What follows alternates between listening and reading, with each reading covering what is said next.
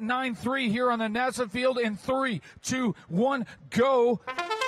Match number 193 in progress.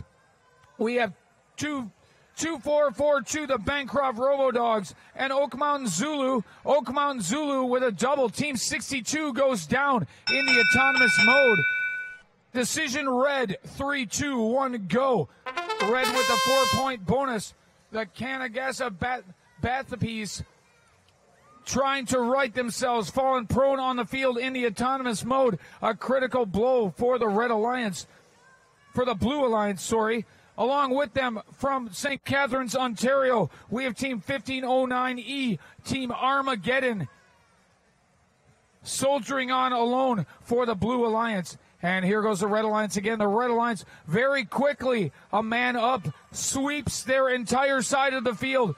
All of the playing pieces now on the blue side of the field. Team Rmageddon trapped in the back, trying to get that cube out from behind. Oh, they've got two stars. Two stars return to the red side. Rmageddon desperately trying to right their fallen partner. Let's see if they can do it. Takes a lot of leverage sometimes to lift a robot.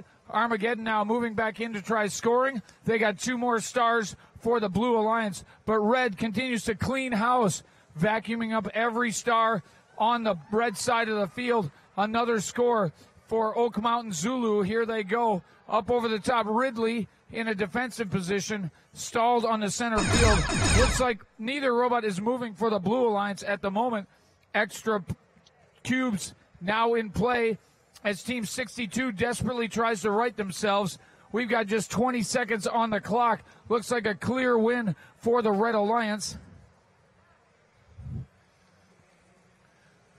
We're down to the final 10 seconds. We're going to count them down. We got six, five, four, three, two, one. And that's it. Some celebratory dancing.